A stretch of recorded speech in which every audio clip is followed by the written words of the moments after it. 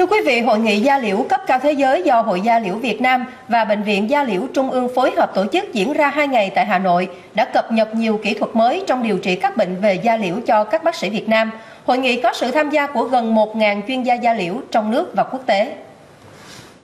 Tại Việt Nam, các bệnh lý viêm da mãn tính và các bệnh tự miễn là bệnh mới nổi, có liên quan đến các kháng thể chống lại trong cơ thể. Vì vậy, việc chia sẻ kỹ thuật mới từ việc sử dụng điều trị các kháng thể đơn dòng, các thuốc sinh học cũng như đề ra các nghiên cứu, đặc biệt cơ chế tự sinh điều trị bệnh lý này rất có ích đối với Việt Nam trong việc điều trị các bệnh tự miễn. Cái nhu cầu người ta muốn là có da sáng hơn thì vấn đề là có một cái biện pháp nào khác mà ngoài là không có phải dùng thuốc bôi hoặc là những cái biện pháp công nghệ tác động lên trong đó có cái dạng viên uống mà làm trắng chứa thành phần glutathione